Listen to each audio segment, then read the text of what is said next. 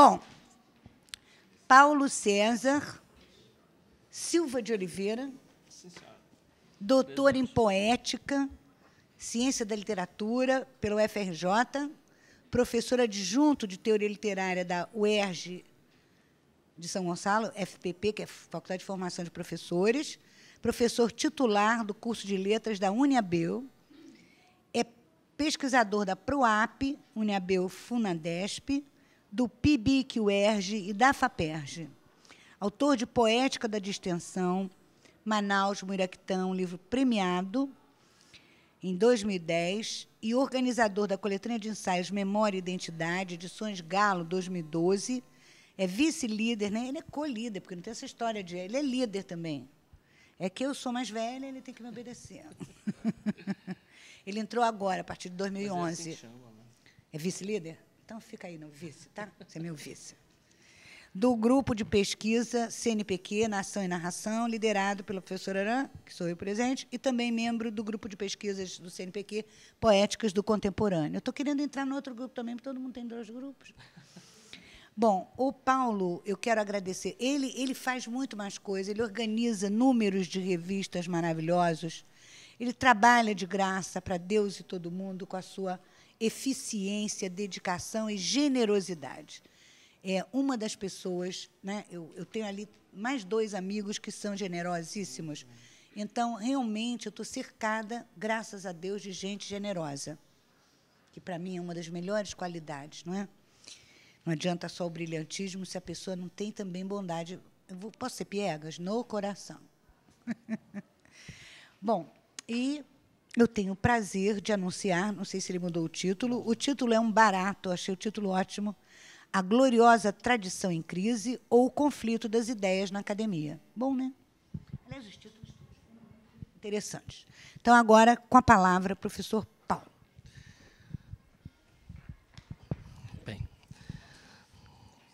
Agradecer a Lúcia pela apresentação, pelos elogios. Nem todos. Eu não vou mais elogiar ninguém, que eles me dão bronca de. Depois fica gravado para sempre, todo mundo pensando que eu sou exagerada. Eu sou. Devolve o CD. Então, é, para, essa, para esse encontro, eu pensei em fazer um trabalho mais ligado a a própria leitura literária. Né? Eu sou de teoria literária e normalmente nós fazemos trabalhos assim muito encharcados de teoria e dessa vez eu quis fazer um trabalho mais voltado para a leitura mesmo de, de dois autores contemporâneos. E já que nós falamos desses assuntos, os assuntos é, aqui hoje, como podemos ver, são assuntos recorrentes. Né? Ah, sim. Então eu tenho que conversar um pouco. Então, essa é a conversa, antes de ler o texto, o paper. Né? É, é, eu gostaria de dizer que é um trabalho de leitura desses dois autores. Eu trabalho, uh, nos últimos dez anos, eu venho trabalhando com literatura contemporânea e como foi dito aqui na própria mesa da, da, da, da professora e nas outras mesas, é, nós, é, eu particularmente tenho sentido muita falta de interlocução com alguns autores latino-americanos sejam os que estão escrevendo em outros países fora da América Latina ou não. E é, esse trabalho tá, está muito nessa linha né, de, de, uma leitura comparada entre dois autores, que não é exatamente uma leitura comparada do ponto de vista do comparatismo mais tradicional. Enfim. É, então, eu para esse encontro, né, que é um, um encontro assim que eu não sei se eu disse para a Lúcia, mas acho que já disse, né? É, é um, é um encontro assim de, de, muitas pretensões, não é? Porque é um assunto, além de vastíssimo, dificílimo, né? 32, é. Vários números de revista sobre o empobrecimento do, do debate intelectual e muito por conta das nossas discussões, né, do no, nosso trabalho junto aí com, com os livros, com as organizações, com os artigos que Lúcia anda mandando para mim, para as revistas B4, B3, B2, que não tem muita importância, mas com as quais ela colabora, porque eu sou né, um, um, um excelente pidão, né? Eu peço muito. e ela colabora mesmo. né, colabora com as nossas revistas inici iniciantes lá da, da FFP, né, que graças aos céus estão indo muito bem, né? Muito também por conta da colaboração de pessoas como a Lucelena, né? Que tem essa disponibilidade e esse esse carinho mesmo, né? De entender que nenhuma revista nasce A, né? Ela se torna ao longo de muito trabalho, né? E esse negócio de A também é uma coisa que tem tem nos dado muito A, B, C, D, não, não tem D, né? Só vai até C. É, tem nos dado assim muita preocupação, muita dor de cabeça, tal, enfim. Mas também faz parte desse desse trabalho aqui, dessa, dessa gloriosa tradição em crise, conflito de ideias na academia. Vão demorar? Então vamos começar, porque eu estava tentando adiar um pouquinho. E, e essa comunicação tem, tem é, é, por objetivo discutir a questão, essa questão tão complexa do empobrecimento do debate intelectual, a partir de leitura de, de duas narrativas. Uma bem recente, que é do Ricardo Piglia, um livro foi lançado esse ano aqui no Brasil, mas que é de 2013, chamado Caminho de Aida. O título é complicado, né? É, complicado falar desse título porque Aida é uma, é uma personagem do, do, do romance que é, é uma professora americana então, aqui nós temos dois bons falantes de inglês, a pronúncia ela é Aida, né? Ida aqui. E que não faz o jogo, o trocadilho que no espanhol e no português, que é o caminho de ida. Né? Lúcia até brincou, porque nós temos uma professora aqui na UF que chama Ida. E eu falei, não é uma boa homenagem, porque a personagem, isso, isso também não estou contando o final do romance, ela é assassinada logo no início da trama. Então não, não é, não, eu falei para ela, não é uma boa brincadeira com a professora Ida. Mas eu, o caminho de Ida, né? É o caminho de Ida, ou o caminho de Aida, né? É, se, se, utilizarmos a pronúncia americana. E o segundo, a, a segunda obra seria, é, é será uma, um conto do livro do Rubens Figueiredo, 2006, chamado Contos de Pedro. E desse, e, e desse livro eu tirei um dos contos para a gente discutir algumas questões. Né? Então, vou fazer uma fala, não, não, não, acredito que não será muito longa. Não, não será muito longa, porque estamos todos cansados. Enfim, e a partir daí nós deixamos as questões para as perguntas, debates casuais. Então começa assim. Em seu mais recente romance, há pouco publicado no Brasil, O Caminho de Ida, Ricardo Piglia, é um escritor argentino, creio que a maioria conhece, novamente traz à cena ficcional a personagem Emílio Renzi, escritor e também o narrador da trama. O romance trata de um período em que o, o argentino Renzi se muda para os Estados Unidos após aceitar uma proposta de trabalho como visiting professor na conceituada Taylor University. Lá, ele reencontra a professora Ida Brown, agora vou citar porque está em, em, inglês, né? Ida Brown, é, com quem tiveram um breve contato três anos antes, quando da sua primeira experiência acadêmica naquela universidade. Enfim, Ida Brown é imediatamente descrita pelo narrador como uma mulher de jeito mordaz e maldoso, palavras do narrador, e aparência distinta. E a frase com que ela o recepciona em sua chegada à universidade, lembrando que Emílio Renzi é, é um personagem que aparece em outras obras do, do Ricardo Piglia, ele é um escritor, né, e dublê de detetive, na maioria dos romances em que ele aparece, nas narrativas em que ele aparece. Então, quando da sua chegada, a primeira coisa que a professora Aida Brown diz para recepcioná-lo à academia é: Bem-vindo ao cemitério onde vêm morrer os escritores. Um pouco mais adiante, na trama, esse narrador, né, inteirado do, do ambiente em que ele vai, em que ele vai trabalhar, descreve os seis alunos, seis alunos inscritos em seu curso. Diz ele sobre, sobre os alunos. Era, sem dúvida, um grupo de elite, muito bem treinado, com aquele ar de conspiração que os doutorandos têm durante os anos em que estudam juntos e escrevem a sua tese. muito confessional aqui, né? É um tipo de treinamento muito estranho, desconhecido na Argentina. Parece mais um ginásio de boxe do Bronx, onde os jovens lutadores são treinados por velhos campeões semi-aposentados que os golpeiam e lhes dão ordens no ringue, correndo sempre o risco de acabar na lona. Acho que é um dos poucos ritos de passagem ainda vigentes no mundo ocidental. Quem sabe os conventos medievais tivessem a mesma atmosfera de sigilo, de privilégio e de tédio, porque aqui os estudantes estão quase reclusos, se movimentam num círculo fechado, convivendo como sobreviventes de um naufrágio com seus professores.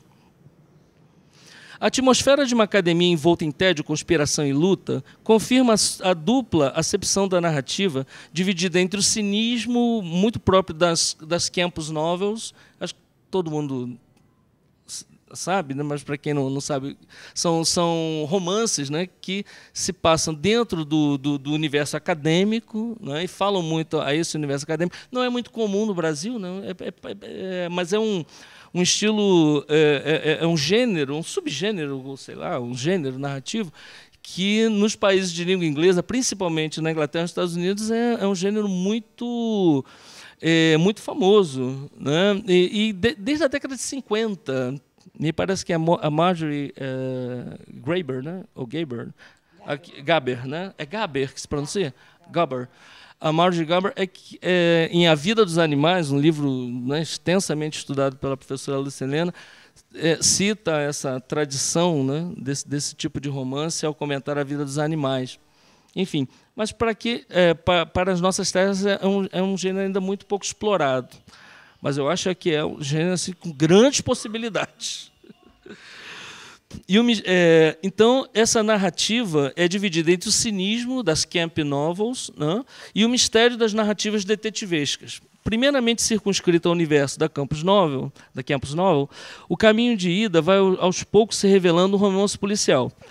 Na primeira fase da narrativa, Emílio Renzi constata que entre o mundo da academia e o mundo social no qual ela se inscreve, abre-se um grande fosso. E seu seleto grupo de seis estudantes tem consciência dessa distinção. Sobre eles, o, o, o, o narrador Renzi diz: eles sabem que no mundo exterior ninguém está muito interessado em literatura e que eles são os conservadores críticos de uma gloriosa tradição em crise, que é o título que eu dei aqui para para comunicação. Descritos como jovens assassinos, palavras do romance, jovens assassinos principiantes trancafiados numa penitenciária federal, esses alunos e, aspas minhas, potenciais homicidas, circulam pelos campos americanos, vistos como pacíficos e elegantes, pensados para deixar a, a experiência e as paixões do lado de fora, mas por onde, citação do romance, por baixo correm altas ondas de cólera subterrânea, a terrível violência dos homens educados. Por tudo isso, Renzi conclui que as universidades substituíram os guetos como lugares da violência psíquica. Assim, não se espanta, o leitor não se espantará é, logo na metade do romance com a entrada da personagem Thomas Munk. É preciso explicar o contexto em que essa personagem se insere. Uma série de assassinatos contra professores universitários desencadeia uma investigação do FBI sobre a identidade desse serial killer, bem como sua motivação para os crimes. A famosa agência de investigação se mostra impotente para descobrir a identidade do, do assassino, né, que, que vai matando durante quase 20 anos esses professores. Cuidados, cuidado. A sua identidade só é revelada após a denúncia de seu próprio irmão. Né? Thomas Munk é um matemático formado em Harvard e é o responsável por explosões que vinham matando cientistas norte-americanos, principalmente. Então, a, o grande mistério do, do, do, livro não é saber quem é o assassino, mas saber o, o que o motiva a matar esses cientistas e o porquê de uma professor especialista em literatura comparada está nessa lista de cientistas assassinados. Enfim, que é a, Aida Brown do título. Munch era filho de uma família de poloneses prósperos, sem antecedentes criminais e sem ligações políticas, um gênio precoce da matemática, de saúde precária, inventivo, investigativo, excelente leitor e pensador e extraordinário como professor. Portanto, a grande questão do FBI seria como é citação do romance? Como era possível que esse jovem tivesse virado um terrorista? Eu lembro sempre daquela piada do Jonathan Culler, que só, só funciona em inglês Quando o professor diz, quando a pessoa diz para uma outra, ah, eu sou um terrorist, eu falo, ai, que bom, entendi que você era um theorist, que é um teórico, né? Então, isso está naquele livrinho lá que a gente usa muito, é, Teoria da Literatura, do Jonathan Culler, né? que eu acho aquilo primoroso, mas só funciona em inglês. Né? Em português não funciona. Como é. Terrorist theorist, né? Como era possível que esse jovem tivesse virado um terrorista? Não era um perdedor radical, como Enzensberger os caracterizaria mais, anos mais tarde. Não era um ressentido social nem um marginalizado. Era um jovem norte-americano bem-sucedido. Não era um fanático religioso nem um marxista. Como pode, né? Então, trava-se no romance a dupla discussão já por nós indicada no início da fala, que nos encaminha para a discussão que propomos. As camadas de ódio subterrâneo, descritas na primeira parte do romance, que se assomam na narrativa, preparam o terreno da discussão sobre o próprio debate intelectual e o, e o pavimentam com a entrada em cena de um terrorista solitário, como Thomas Munk, adepto de Thoreau, né, que escreve Walden, né, enfim, se neste momento da trama o mistério policial não mais se concentra na identidade do terrorista, resta saber o porquê dos crimes e o motivo pelo qual uma professora da área de letras tenha sido um dos alvos de Munch. Né? Já que suas ações visavam fundamentalmente cientistas de áreas técnicas, contra os quais Munch se opunha, já que, em sua visão, eram agentes do capitalismo mundial e do controle das armas de dominação contra as quais ele lutava. Para não nos alongarmos, dado o tempo da apresentação, diremos que a encenação ficcional de Piglia coloca na arena das ideias o debate sobre a questão intelectual em torno das relações de ética, estética ensino via academia. E por quê? Né? Ao, ao, problematizar o debate intelectual, levando as discussões sobre terrorismo, globalização, crenças políticas, utopias desfeitas, Piglia põe e repõe o discurso literário no circuito das reflexões contemporâneas, que aqui no nosso grupo, né, nos dispomos, é, nos dispusemos a pensar. Colidiu com a promissora carreira de teórico e romancista. Expliquemos. Pedro era aluno pobre do curso de letras de uma universidade pública, cuja, cujas aspirações à celebridade acadêmica cedem lugar ao desejo de enriquecer, o que realmente acaba acontecendo inicialmente quando ingressa na universidade pública por um concurso meio que fraudado para que ele entrasse, passando pelos progressivos estágios de submissão na lógica do dinheiro e da corrupção. Ele faz um concurso público, porque o salário não é aquilo que ele esperava para o seu projeto de enriquecimento, faz um concurso um, para uma área de fiscalização federal, e lá ele entra em todas as possíveis tramas de corrupção e realmente enriquece. É, bem, essa primeira. É, vemos nesse percurso do conto duas linhas narrativa, narrativas. A primeira persegue os sonhos do jovem aspirante intelectual e ficcionista. A segunda, o de corrupto aprendiz e mais tarde ladino perspicaz, especializado, único a escapar do escândalo que envolve a sua repartição. Entre as, duas veias narrativas, o conto estabelece um mundo de questionamentos. Podemos ler o conto como metaficção, é, é, biográfico, ou historiográfico, ou autobiográfico, como relato do desencanto pós-moderno em relação aos lugares da literatura e da arte, ou ainda como uma reflexão sobre o papel do intelectual e da universidade, especialmente dos cursos de teoria literária e nos departamentos de letras. Em verdade, este conto pode ser descrito como um conto de tese ou mesmo como uma espécie das camp novels, né, de que falamos anteriormente.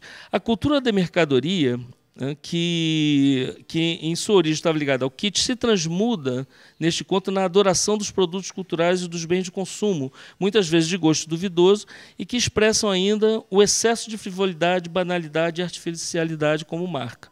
O título do conto, A Última Palavra, é bem explicado em uma passagem da obra. Aí eu cito essa passagem. Agora em sua casa não havia móvel, aparelho, roupa ou alimento que não fosse a última palavra da indústria e da publicidade. Comprá-los uns após o outro para substituir os anteriores era literalmente pôr na sua boca a última palavra. Quando se sentava para escrever diante da tela acesa do computador, até uma hora da madrugada, Pedro queria, Pedro queria fazer valer seu direito, ser raro, ser único, ser o último. O percurso de Pedro se estabelece entre a fama perseguida e comprada e o desejo de possuir e ter poder. Para Pedro, o mundo utilitário da mercadoria, do dinheiro, serve para dois modos de arrivismo, o socioeconômico e o intelectual. Ao primeiro, Pedro se entrega por meio da corrupção. Ao segundo, pelo tráfico de influências e pela composição nas escalas dos favores e comprometimentos com que Pedro, desculpe, comprometimentos com que Pedro visa galgar a fama como escritor. Dividido entre o capital, o utilitarismo do mundo das mercadorias e dos bens de consumo e a vaidade intelectual, Pedro conjuga o pior das duas formas, dessas duas formas de vaidade, a do, a do capitalista novorriche e a do intelectual utilitário. Para Pedro, o mundo do escritor e do intelectual era um universo de benefícios, influências, aprovação. Significava, por um lado, galgar os muros da inteligência, a que Pedro ascende por meio de um concurso público duvidoso, para professor universitário e que logo abandona por conta do próprio salário e, por outro lado, por meio de um bom cargo público, em que se torna poderoso por, por meio do dinheiro e da influência política, oriundas, é, oriundos do, da, do cargo de que se serve, e que propicia a ele a compra de uma editora e mesmo a compra de críticas favoráveis às suas obras literárias e matérias pagas de jornais. Nas inúmeras possibilidades de leitura do conto, o Estatuto da Teoria Literária como disciplina universitária, a crítica feroz à instituição universitária, a visão irônica e desabusada do mundo da espetacularização da mercadoria e, finalmente, o mundo da fama e das celebridades intelectuais e literárias, são temas que se entrecruzam. Vejamos duas citações que nos auxiliam nesta reflexão. Uma do próprio conto. Por experiência, Pedro sabia que não existia nada que se comparasse ao gosto de um poder exercido com eficácia. A outra, retiramos de, um, de uma reflexão da própria teoria literária de uma obra chamada The Division of Literature, de Peggy Kamoff, de 1997. Eu fiz uma tradução minha aqui, então me perdoem se não estiver muito claro. Então, essa citação da obra da Peggy Kamoff é a seguinte: Quais são os limites da instituição dentro, entre aspas, da qual algo chamado literatura e aí vem tudo com aspas. Alta literatura, o cânone, a tradição literária e daí em diante, supostamente deva ser ensinado. Por que a primeira questão pressupõe a segunda? E por que a questão que o termo literatura coloca a si próprio, coloca também em questão essa outra instituição que é a universidade? No conto de Figueiredo, é, o processo pelo qual o mundo exterior, o não texto, é mimetizado, faz aflorar o que um outro teórico, Wolfgang Iser, chamou de material, cito Iser, material a partir da qual algo novo é modelado. Deste modo, o conto, que se estrutura como uma narrativa de teses, estabelece dentro de sua economia interna um saber acerca de suas próprias formas de organização. É um conto sobre a universidade, por um lado, sobre os departamentos de letras, por outro, sobre o processo de aprendizagem e formação de um jovem e sua educação sentimental. Não coloquei aspas, mas deveria. sobre as relações autobiográficas que se inserem na trama, sobre aquilo que Gerard Genet classificará de relações metatextuais, ou seja, é, deixa eu pular aqui, que está em francês. Comentário que une um texto a um outro texto de onde ele fala, sem necessariamente citá-lo, convocá-lo realmente, até o limite, sem nomeá-lo, o que é próprio da relação crítica. Deste modo, o olhar provocador do autor sobre o mundo predado, que podemos chamar genética de não texto, provoca a teoria no duplo sentido de que requer dela uma resposta, ao mesmo tempo em que discute seu próprio papel dentro da academia. Se o termo literatura é uma espécie de catacrese, como entende Peg Kamoff, que seria uma figura de linguagem que consiste no emprego de uma ou mais palavras fora do seu significado usual, né? Como pé de meia, bico de chaleira, etc. A instituição na universidade moderna, a instituição da, da disciplina teoria literária na universidade na, na, universidade é um traço, é por si só um traço de ambiguidade inerente ao processo de estabelecimento de um saber que provoca, como diria Roland Barthes, né, o sabor, todo saber. Assim, o debate ficcionalizado no conto de Figueiredo provoca outro debate acerca da própria universidade como instituição e da teoria como detentora, ou talvez ex-detentora, do monopólio da reflexão literária. Se Pedro ascende na universidade por meio de concursos fraudulentos, de conchavos, favores, chantagens, bajulações, disputas mesquinhas por cargos e posições, não menos cínica e antiética é sua vertiginosa ascensão como novo rico. Capital e intelectualidade nessa obra não são somente desmistificados e desconstruídos, mas postos em circulação na corrente das questões contemporâneas, cujas fronteiras vêm se alargando sobremaneira, mas chegaram em nossa literatura, aqui no Brasil, timidamente, em forma de crítica ácida das estruturas do universo acadêmico. Eu creio que a professora Lúcia deverá falar até de um outro escritor que vem tratando também essas questões, que é o João Gilberto Noll. Né? É, faríamos justiça não, vou pular esse pedacinho para não logo para o final.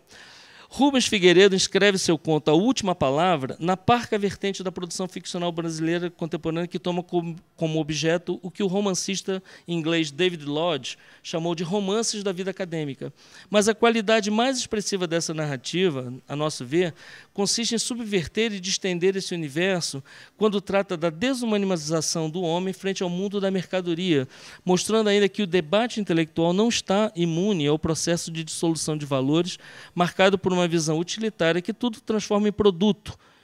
Novo totem para, para quem ajoelhamos, para o qual né, ajoelhamos no altar do Deus mercado. O século XX legou à teoria um papel preponderante.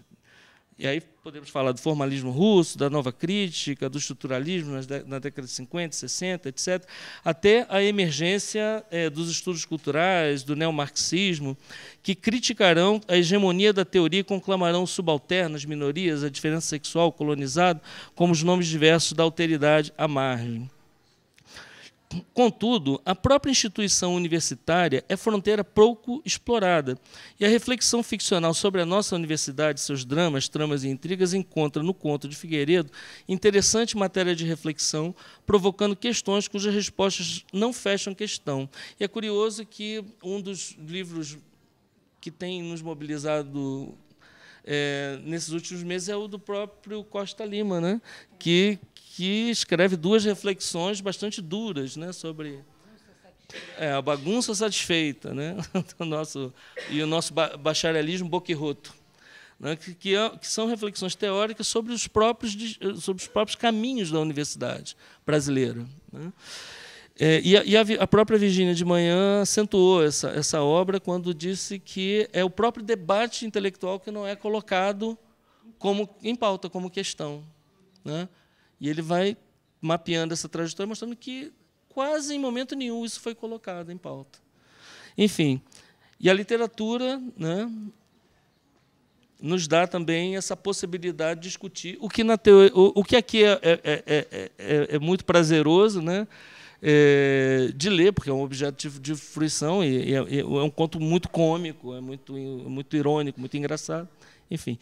Então, Figueiredo é, faz as seguintes é, perguntas em seu, em, seu, em seu conto. Como ensinar algo como a literatura, cuja natureza reside no questionamento constante de si própria como objeto de saber, daquele que ensina, da própria teoria que pretende desvelá-la, da instituição que a abriga e que abriga a teoria como saber acerca da literatura, questionamento do leitor, de sua posição face ao literário, do autor como autoridade por detrás daquilo que se recria a partir do não texto, e do real, do próprio real, como um universo repetido no texto, mas do qual o próprio texto deve se diferir. São essas questões que, no âmbito da matese, da semiose da mim, estou usando aqui três conceitos do Roland Barthes, né, num livro chamado Aula, as três forças da literatura, né, como Barthes pensou, podem fazer vibrar uma resposta conclamando a, a, teoria e ambiguamente provocando respostas e inevitáveis aporias. É no conto de Figueiredo que uma dessas aporias, quer seja da universidade como um lugar da incondicionalidade, essa é uma citação que eu faço ao Derrida, mas que, ao mesmo tempo, capitula o imperativo categórico de uma não ética que podemos perceber a necessidade da teorização, como diz o Costa Lima, né? Temos que colocar na pauta da academia a questão da crítica e da teorização. Voltando à Piglia, aquela gloriosa tradição em crise, resguardada por jovens estudantes reclusos e desconfiados, violentos e assassinos em potencial, oriunda lá do alto capitalismo, encontra-se uma encruzilhada, encontra-se uma encruzilhada de Édipo, né? Qual caminho a seguir? Né, como caminhar nessa estrada né, de caminhos bifurcados, cuja lógica é de um mercado que transforma também as ideias e reflexões em produtos da moda. O Lonely Ranger, que é o Thomas Monk, né, optou pela guerrilha solitária, o personagem do Piglia, né, o terrorista. Ele é chamado de terrorista literário dentro do romance. Thomas, porque o, ele lia muito Conrad. O Conrad é outro autor que está na moda, né? porque todos esses, Bernardo Carvalho, escritores aqui, Milton Ratum, né? descobriram o Conrad, né? descobriram com todas as mil aspas. Exatamente. É, leitor de Conrad, né? pois é optou pela, Thomas Munch optou pela guerrilha solitária enquadrada no termo terrorismo literário. Contrapondo-se a ele, as escolhas de Pedro recaíram na apropriação do que, há, do que há de mais danoso em nossa sociedade. O arrivismo, seja intelectual, econômico ou político, aliado a um senso de oportunismo que pauta o mundo das relações interpessoais pela lógica do produto. Se há ainda um poder da literatura, e talvez e talvez esse resida talvez esse resida no seu saber saber algo como conforme Roland Barthes e com esse saber produzir novas utopias ainda que sejam as do precário como bem definiu uma intelectual um pouco desconhecida nossa Lucilena. Os efeitos dessa reflexão oriundos da leitura das duas narrativas, se farão notar na discussão crítica na qual empenhou Luiz Costa Lima na sua obra Frestas, mas esse debate ficará para uma próxima ocasião e para o texto que publicaremos como resultado desse encontro tão bem pensado no âmbito do grupo Nação Narração. Então é isso.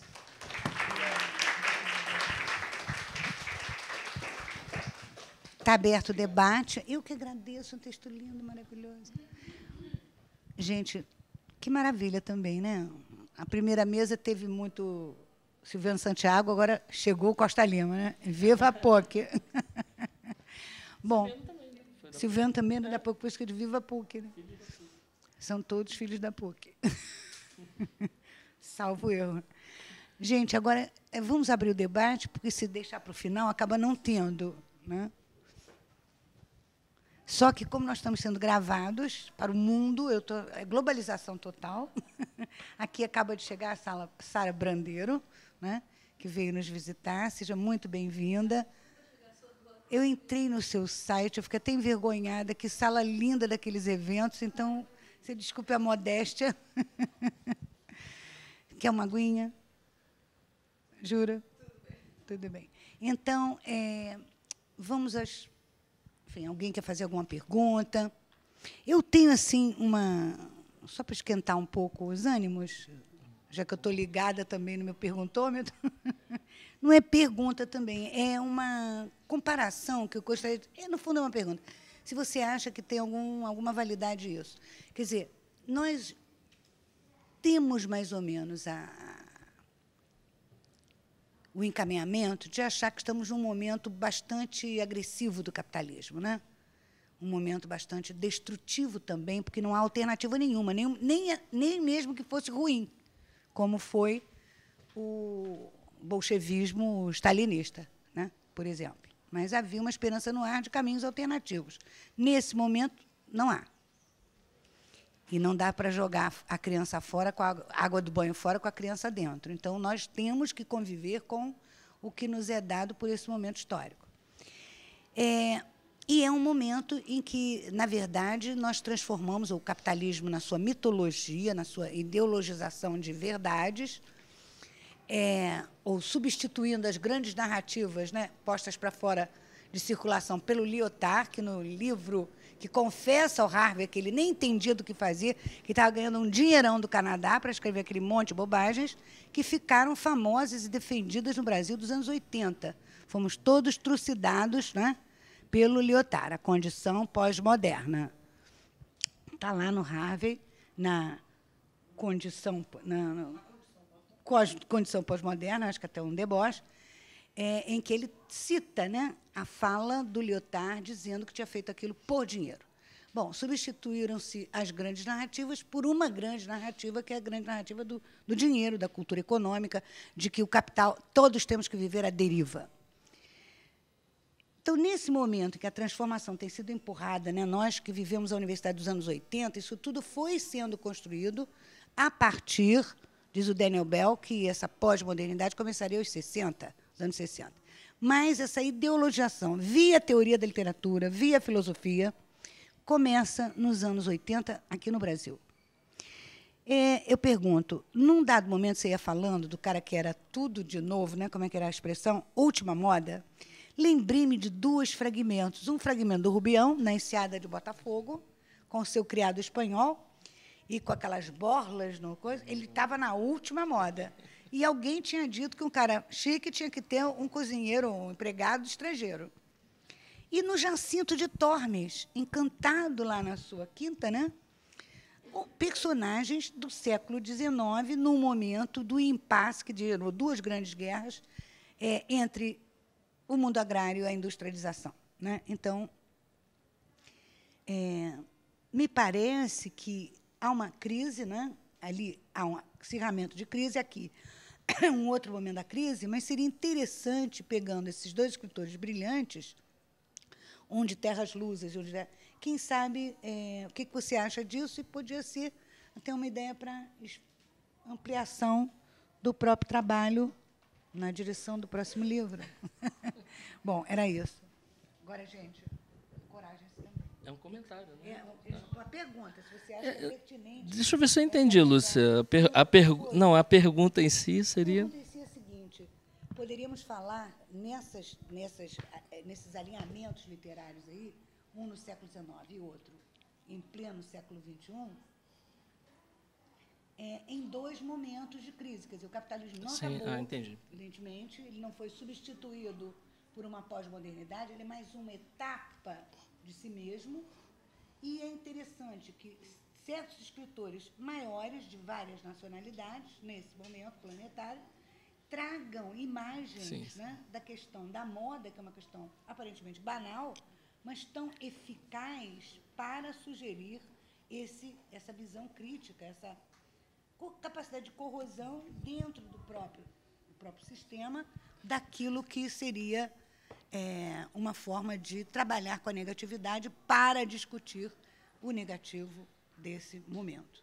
Correto. Não, eu concordo plenamente. Inclusive, é, por conta no texto nós não podemos colocar tudo, né? não, não dá tempo de colocar tudo, mas eh, tanto tanto esses dois, tanto o Piglia quanto o, o Figueiredo, né? o Rubens Figueiredo, e, e, é curioso que você menciona Machado de Assis, né? que é, que é um, um autor com, com o qual ele vem sendo comparado, assim, o, o Rubens Figueiredo, né? E, se desloquem né, para esses momentos, né, esses, é, é, é, esse, esses momentos de diálogo com esse passado ao qual você se refere. Você falava aqui brincando aqui em off que descobriram o imperialismo, né, os escritores contemporâneos com Joseph Conrad. E, e no caso de Figueiredo, por exemplo, né, ele a uma certa altura da obra dele descobre o Machado de Assis e descobre aquela frase maravilhosa do Machado de Assis sobre a opinião, né, que, que, que, em que, na teoria do medalhão, em que o pai diz para o filho que essas seriam as duas colunas máximas né, da sobrevivência nessa selva social. Né, seriam as colunas da opinião. Né, a opinião e, da, e daquilo que as pessoas formam como opinião sobre você. O, ser, o, o parecer, né, o parecer honesto não é tão suficiente ou tão mais importante. Ah, desculpa, o ser honesto não é tão mais importante quanto o parecer ser honesto. Então, Machado já intuía isso. Né? E para isso você tem que estar na moda, né? na moda intelectual, inclusive. Machado foi um dos que trabalhou muito com essa questão, né? com esses modismos. Essa passagem do Rubião é excelente porque o Rubião, quando chega ao Rio de Janeiro, ele é cooptado né, pelo casal, né, pelo casal Palha, Sofia e Palha. E, e nessa cooptação, a, a, as primeiras ações que esse casal vão, uh, vão exercer sobre ele é justamente a sua inserção na sociedade. E essa inserção se dá a partir dos códigos culturais daquela sociedade com a qual ele terá que conviver.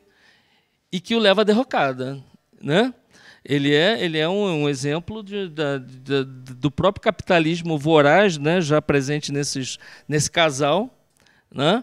Uma é, é, são dois arrivistas né, e, e, e, que vão economicamente ascender através da ruína do outro. Desse... Aqui é uma ruína Sim, sim. Que corta a tua bolsa, você nem viu que foi roubado. E nesse outro momento é uma violência que nasce da própria academia. Né? Sim, da própria academia. E, e, e, da própria percepção de uma questão que também é a questão do poder. Né? Eu, eu, eu, eu anteontem é, assisti a uma entrevista do, do. Oh, meu pai, daquele aquele Oliviero. É, é o que faz propaganda da Benetton, não. Ele dizia o seguinte, né? Quando nós, nós criticamos tanto a academia, tanto o mercado, por conta dessas relações, né? Nós também esquecemos que a arte sempre esteve ligada ao poder de alguma forma. Ou era o poder da igreja. Ele diz o seguinte: só que a diferença é que aquelas obras produzidas, concordemos ou não com o que ele diz, só que aquelas obras produzidas eram produzidas tendo em vista uma certa ideia de belo. Essa essas são produzidas tendo, tendo em vista uma certa ideia de descarte. Né? Queremos a próxima, não queremos essa. Então, a questão é saber se essas obras, que são contemporâneas, no futuro se tornarão modernas, porque aquelas obras que Miguel Ângelo produziu, ele cita Miguel Ângelo e Caravaggio, ele é italiano, produziram, hoje são modernas. Então, temos, teremos que ver se essas obras que hoje são produzidas para o mercado serão, no futuro, obras modernas. Então, esse é esse grande desafio. Agora, quanto à sua questão, eu concordo plenamente que são dois momentos do capitalismo. Né? É, o Bauman também já foi citado aqui. Né? Vivemos num, num, num momento, e a literatura tem refletido isso, é, principalmente essa literatura mais crítica, em que as relações permeadas pelo mercado acabam se tornando quase que homogeneizadas, ou seja, a roupa da moda e o livro da moda, né? E, e, isso me irrita profundamente quando eu abro aquele coluna do Hermano Viana, ele está sempre citando um autor de quem eu nunca ouvi falar um, teórico de quem eu nunca ouvi falar. Eu falei, menino, mas quantos teóricos estão falando nesse mundo? E que capacidade é essa desse rapaz de conhecer todos, de todas as nações? Ele cita húngaros, ele não cita americanos nem europeus, eles é, europeus da, da, do, do, da, da Europa, né? Central, mas ele, ele, ele, ele cita russos, húngaros, tchecos e, e, também a moda intelectual, né? É, é, essa questão da, do qual é a teoria da semana. Né? A melhor teoria da última semana, qual é? Então, é, é, o, que, o que está me motivando a ler essas ficções é como esse debate, né, que o Luiz Costa Lima leva para uma outra, uma outra reflexão, a ficção né, encaminha de uma forma a, a, fazer com que essas fronteiras se distendam, porque isso é uma capacidade que a, que a ficção tem. E, e, e, nessa, e nessa possibilidade eu acho que a teoria às vezes esbarra. Então é sempre bom voltar ao saber literário, não é? A, a ler os livros, a ler os livros com esses olhos, com essas lentes de aumento. Não, é? não sei se eu respondi a tua pergunta, é uma pergunta dificílima.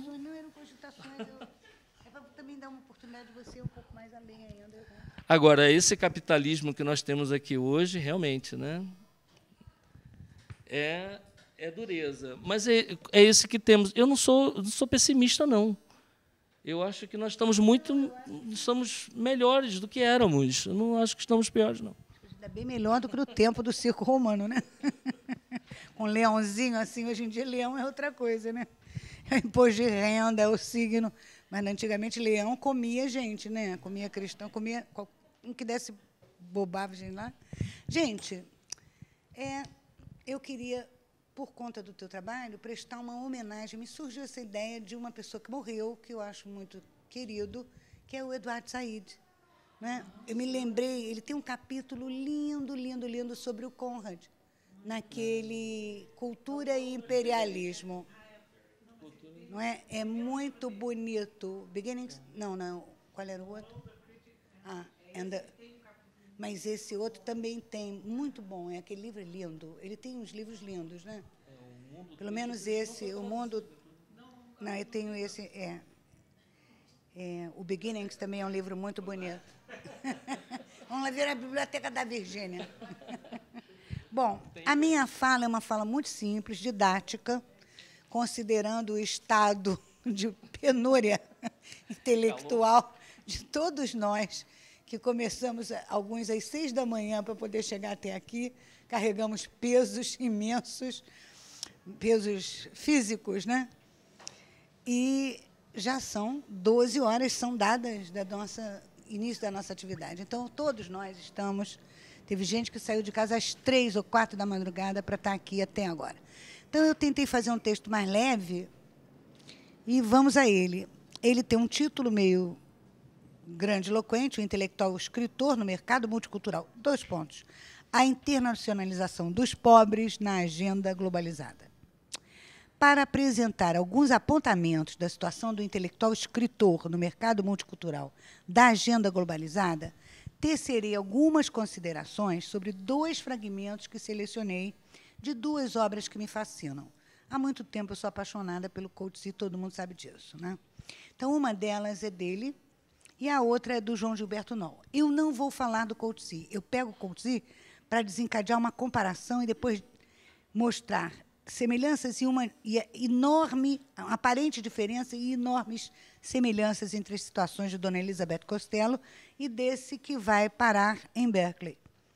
Então, eu começo, leio os dois textos. Então, elas funcionarão, essas citações, como um ponto de partida didático para abordar um assunto muito complexo e delicado que, evidentemente, não se pode esgotar no espaço de uma só palestra, e, no caso, uma palestrinha. Né?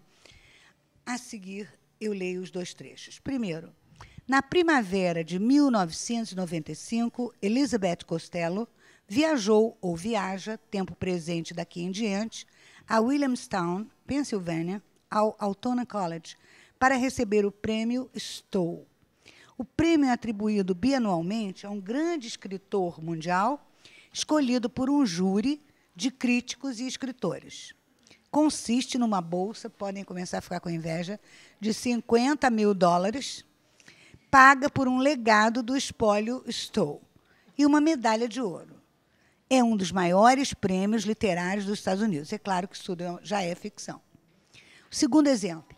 Quando chegou aos Estados Unidos, tinha menos de 100 dólares.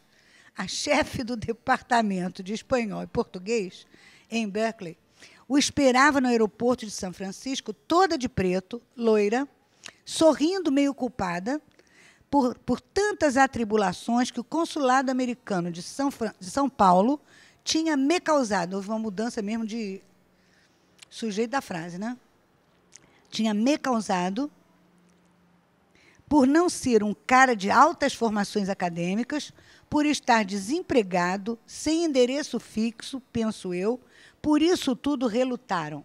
Duas, três vezes meu passaporte voltar a Porto Alegre sem o visto, temendo com certeza que eu quisesse migrar como tantos patrícios. Então, o primeiro vem do livro Elizabeth Costello, né, que foi editado em 2003, a sua primeira edição em inglês, e no Brasil traduzido em 2004, e o outro é de João Gilberto Noll, é Berkeley Beládio, que teve primeira edição pelo Objetivo em 2002 e a segunda edição, que é a que eu cito, de 2003. A citação inicial, então, foi retirada do romance X e apresenta um momento de homenagem à protagonista cujo nome intitula a obra. E cujo nome intitula a ficção do autor, que usualmente a coloca em situações problemáticas. Elizabeth pena na mão dele. Intelectual, escritora e conferencista, Elizabeth viaja da Austrália, onde reside, até os Estados Unidos para receber um prêmio de grande importância oferecido país, pelo país a um escritor de destaque. Na segunda epígrafe, um protagonista masculino, do qual se desconhece até o nome, viaja de Porto Alegre à América do Norte e chega ao aeroporto de São Francisco com a bagatela de 100 dólares no bolso para desenvolver atividades acadêmicas em Berkeley. Criado por João Gilberto Noll, o romance Berkeley em Bellagio, no romance, o personagem é um intelectual subalterno que, desempregado, teve imensa dificuldade de conseguir, como vimos, o visto consular. A situação de inadimplente coloca-o sob a suspeita da burocracia de Estado, encarregada de abrir ou de fechar os portões da terra promissora para o vizinho pobre. Comparando-se os fragmentos, o leitor se depara com duas cenas excludentes: aplausos para Elizabeth, pedras no caminho para o sem nome. Ao longo da leitura dos dois romances, o leitor verá, todavia, que Elizabeth não tem tanta força assim, se comparada ao sul-americano quase barrado no baile.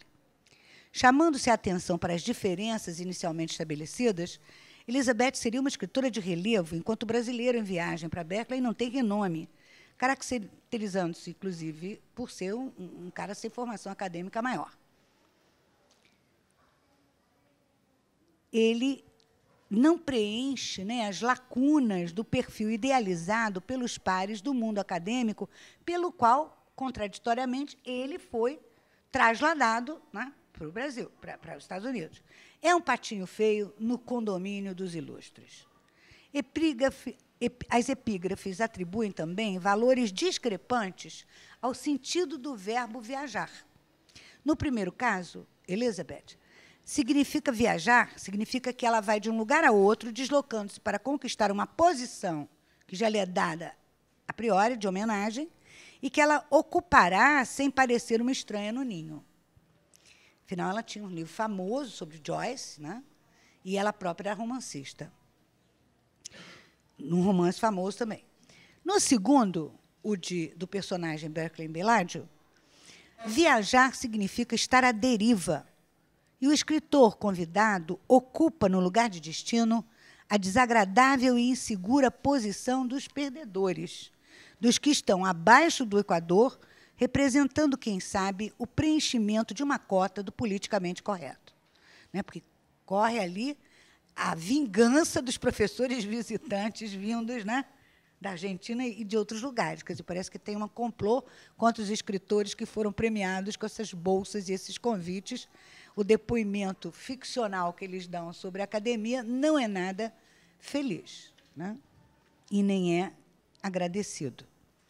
As epígrafes atribuem ainda, então, esses valores. O tempo da escrita das duas obras aponta para a transição entre o final do século XX e o início do século XXI. Né? Porque o, o, o Noll vem caminhando com a sua obra desde esse momento. E o Coetzee também. Né? É, Elizabeth Costello ela já aparece no romance do final do século XX, que é A Vida dos Animais, em que ela vai, como alter ego do, do, do fazer conferências, duas conferências, na, no ciclo né, das palestras, é, numa atividade de uma universidade que existe, e um ciclo que existe na realidade até hoje e está lá no site da universidade. Bom, coincidentemente, pode-se dizer que esse é também um período, essa transição dos últimos 20, 30 anos do século XIX para o século XX para o XXI, é, pode dizer também que é um período que, do ponto de vista não mais da economia da escrita, mas do panorama econômico e político do capitalismo mundial, é um momento do chamado, ou da, da coisa denominada, fenômeno denominado globalização. Em globalização, as consequências humanas, Bauman considera que o significado profundo da ideia de globalização é a, aspas, do caráter indeterminado, indisciplinado e de autopropulsão dos assuntos globais. No entendimento do autor, fechei aspas, Globalização não é um outro nome para o que no início se vendia como tal, para universalização, conceito de Estado moderno que anunciava, em uníssono, a vontade de tornar o mundo diferente e melhor do que fora e de expandir a mudança e a melhoria em escala global à dimensão da espécie. Nada disso restou no significado de globalização, tal como ela é realizada hoje. Novo termo da moda, desde a década de 90, a globalização também foi tratada por David Harvey em O Novo Imperialismo, livro recém-traduzido no Brasil, que apresenta o fenômeno como a instância mundial na qual se desenvolve e se acirra a característica peculiar do avanço de uma nova classe. Lembrem da Thatcher, lembrem do Reagan, né? Lembrem da Bolsa de Valores, da criação assim, de multimilionários de um dia para o outro, né? de jovens, inclusive. A criação e o avanço peculiar de uma nova, aspas, Harvey, classe capitalista transnacional de financistas, chefes executivos e rentistas, fecho aspas, que recorrem ao domínio territorial para proteger seus interesses e para construir o tipo de arquitetura institucional no âmbito da qual pudessem reunir a riqueza do mundo em suas mãos. Fecha. Além disso, agora digo eu, né, essa classe pouco respeita, essa classe de financistas, rentistas, etc., etc., lealdades ou tradições nacionais ou vinculadas ao lugar. Nesse ponto, ele discorda de ti. Podendo ser multirracial, multiétnica, multicultural e cosmopolita, caso a perspectiva financeira do capital e a busca do luxo, lucro assim o exija. Não há nenhum amor à diferença. O que está por detrás desse, dessa iluminação das diferenças, dessa valorização, é o consumo né, que determinados grupos vão trazer, se forem, evidentemente, buscados como o novo comprador dessas ideias, que parece que beneficiam aquela minoria. Houve uma frase que hoje genial, não me lembro mais quem era, a minoria que é, no fundo, uma maioria. Né? Do mesmo modo que eles não serão fiéis a nenhuma dessas coisas, fecharão indústrias e fábricas e reduzirão a capacidade de emprego em seu próprio território, se a necessidade do lucro cada vez maior também assim o determinar. Examinando as consequências desse descompromisso, com qualquer legislação de trabalho favorável ao trabalhador, Harvey acentua que, diferentemente da fase inicial do capitalismo, chamada de sólida, né, pelo Bauman, aquele momento em que, por exemplo, o Fordismo descobre, né, e aí acaba se encerrando esse período, que o trabalhador que faz o carro precisa ter dinheiro para comprar o carro. Então, é, de certo modo, um certo aburguesamento do dinheiro que ganha o trabalhador para que ele possa é, ser, não para beneficiar o trabalhador, ó, como eu gosto de você, ó, trabalhador do meu coração, mas é para que a mola de consumo continue. Hoje, isso é custoso, né? isso não existe mais. Então, a indústria sólida, pesada, centrada num lugar, com os operários tendo almoço, refeitório, cozinheira para eles, acabou. Então, o cadarço vai ser posto lá na Birmânia, o outro vai para o Cazaquistão, etc, etc. Só não vai para a caverna do falecido Bin Laden. Mas é toda uma descentralização para maior lucro e menor compromisso com os trabalhadores. Então, o espaço, né, esse, esse, a globalização provoca, nesse sentido, muitas perdas para o mundo menos desenvolvido, espaço que servirá como fornecedor de massa produtora de mão de obra, isso é o que estou dizendo, que estará cada vez mais à deriva de um sistema econômico volátil e escorregadio, com leis trabalhistas cada vez mais flexíveis e voltadas à ampliação e retorno do lucro ao próprio capital aplicado. E esse capital que não é de uma pessoa, né? Então não dá para fazer uma greve como os, você tem né, em romances do Zola, com as minas do senhor fulano de tal, porque o senhor fulano de tal não existe. Quem é o dono do capital, sei lá, da Light, do metrô? Basta isso. Quem vai processar quando aquele prédio lá de Ipanema cair no chão? Você vai processar, vai durar 200 anos, você já morreu. Sem querer fazer da obra literária um espelho do real, e sabendo que isso, mesmo que eu quisesse fazer, não seria possível, até porque se deve compreender que a chamada realidade social como um complexo construto não é uma coisa que transparece e é captável pelo olho nu, assim como também os signos de uma linguagem. Né? Pode-se dizer, todavia, que tanto a obra de Coetzee, da qual eu não vou tratar, quanto eu já tratei em vários livros, inclusive tem dois livros, quem quiser saber o que eu penso do Coetzee, está naquele Ficções do Desassossego, Fragmentos da Solidão Contemporânea, e nesse último, que é quase todo sobre ele, que é Náufragos da Esperança, é, a literatura na época da incerteza. Então, eu não vou tratar dele, eu só tomei ele como ponte para não abandonar um velho amor. É, tanto a obra de Coetzee quanto a de Noll tematizam o universo da globalização. E eu não vou ser tão generalizante. Esses dois textos que eu estou citando, com os exemplos, está na cara que eles fazem isso. Né? Noll, ao ressaltar o apagamento do protagonismo dos, dos intelectuais escritores na ordem mundial globalizada, concentrando em um escritor, em um intelectual subalterno, ele concentra em um intelectual subalterno em Viagem ao Primeiro Mundo, um personagem crônico e perdedor. Perdedor segundo os padrões não é, desse mundo da cultura do dinheiro.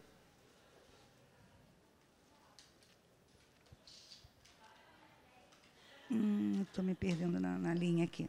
E Coetzee apresentando ao longo do livro, e aí é que vem a grande semelhança entre a Costello, com todas aquelas grandezas e prêmios, etc.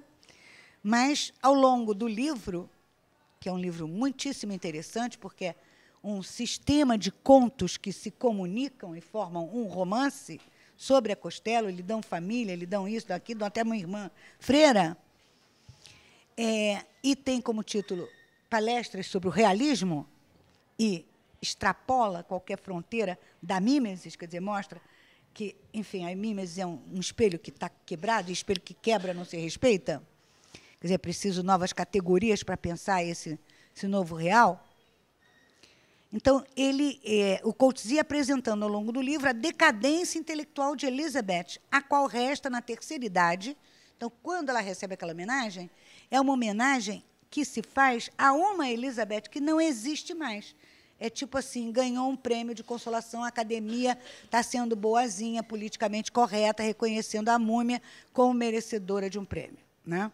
Ah, meu Deus, que a minha professora ela era ótima. Como é que é mesmo o nome dela? Terrível, né? Meu aluno, adoro você. Ai, meu Deus, como é que é o nome dele? Né? Tem essas coisas assim terríveis. Ah, ela está viajando num transatlântico de burgueses que não tem. E, e a função dela, junto com Emmanuel Edugu, é fazer conferências, para que ninguém está interessado nem em ouvir, nem nada. O Edugu, pelo menos, está interessado em transar com as senhoras presentes. Né? Ele é um grande namorador. E ela está morta de ódio dele, porque ele já transou com ela na, na, quando ela era mais jovem, e agora ele não está interessado nela. Então ela está furiosa, porque ele vai falar do romance oral. E ela descasca uma teoria de que romance oral não existe. Né? Que romance é uma categoria lucaxiana que não está interessando ali a ninguém. Bom, então essa Elizabeth que está nessa pindaíba que precisa, tipo Roberto Carlos, fazer show em, em, em, transatlântico, né? comer friboi e etc., é realmente um, uma situação trágica. Né? É, é, seria trágica se não fosse tragicômica. Então, ela é também é, posta como australiana. Ah, meu, meu Deus do céu, não consta de nenhum primeiro grande mundo. São dois intelectuais subalternos. O tempo que ela estudou lá, trabalhou, enfim, era outra coisa. Então, seu público nessas viagens não tem ideia do que ela representou na vida intelectual e nem do lugar destacado que ela ocupou. Até o prêmio que foi, foi receber soa como uma consolação praticada por um grupo de acadêmicos que, em si mesmo, ganha pontos por praticar, aqui e ali, alguns gestos politicamente corretos. Ao fim e ao cabo, Elizabeth, a personagem de Coetzee, é tão cronicamente perdedora quanto é o deslocado e melancólico personagem de Noll em Berkeley e Bellagio.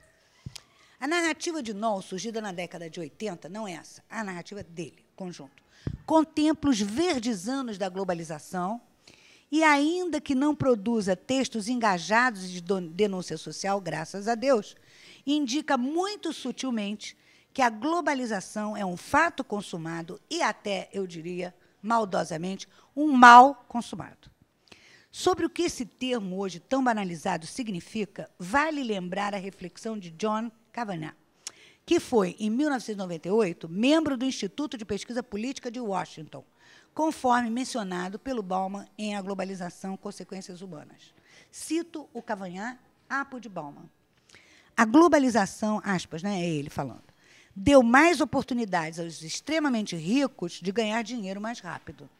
Esses indivíduos utilizaram a mais recente tecnologia para movimentar somas de dinheiro mundo afora com extrema rapidez e especular com eficiência cada vez maior. Infelizmente, a tecnologia não causa impacto nas vidas dos pobres do primeiro mundo. Vai todo mundo morrer na porta do hospital que não tem vaga. Né?